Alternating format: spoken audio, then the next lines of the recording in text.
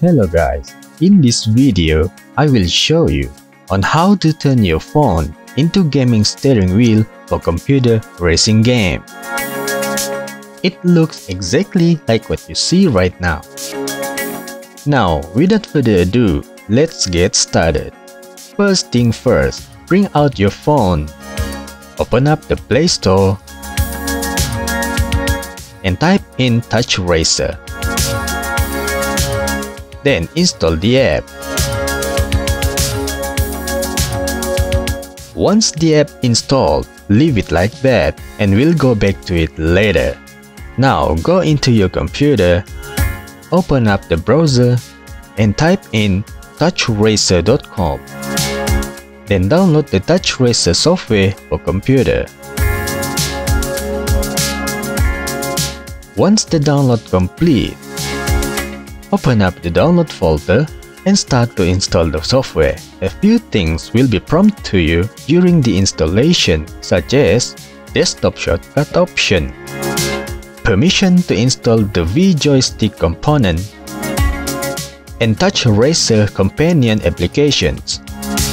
At first launch, Windows Firewall will probably ask you to allow network access for TouchRacer software. If that's the case, you should choose to allow it for the software to work. Now the installation is complete, you can launch the software, and this is how it looks like. This software will act as a server to detect the input from your phone. Now go back to your phone that has the TouchRacer app First thing to do is make sure your phone is connected to the same network as your computer does. Once your phone is sure to be the same network as your computer, then open the app. And the app will automatically sync to the software on the computer. Exactly like what you see right now. Now, all of that things has been said. Next is to open up your game in my case, I am playing Project Cars. Go into the option, Control, and Edit Assignment. At the app on your phone, click on Start Playing. Then you can rebind all the required keys. When you rebind the configuration for the steering, make sure to tilt your phone until a white bar showed up. Means the axis is fully triggered and the game can assign new key but keep in mind that different game will have a different ways of rebinding the keys in their settings. What I'm showing you here is the way of setting for Project Cars game. Next thing to do is calibrating the wheel and pedals. These steps is recommended to be done so the game will understand better the range of the axis for the wheel and for the pedals. In this case, just calibrate the pedal for throttle and brake since the app only have those two buttons only. Next thing is to make sure the gearing are set to be automatic. In the configuration, I just set the steering sensitivity to 20. This is my preference. You might be different. It's up to you.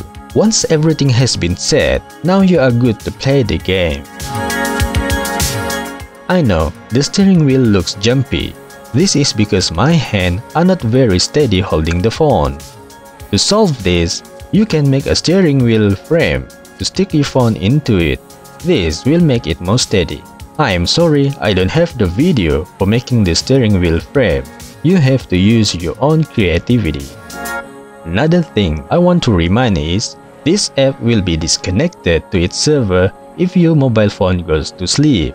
So, if you want to use the phone as the steering wheel sensor only, like I did in this video, you have to set your phone display to never go to sleep. Once you do that, your phone display will never turn off while playing, and the app will not be disconnected. With all of that, I hope this video will give you a little bit of help on how to turn your Android phone into a gaming wheel for computer games. Please subscribe and ring the bell so you will be notified whenever I upload a new video. Thank you for watching.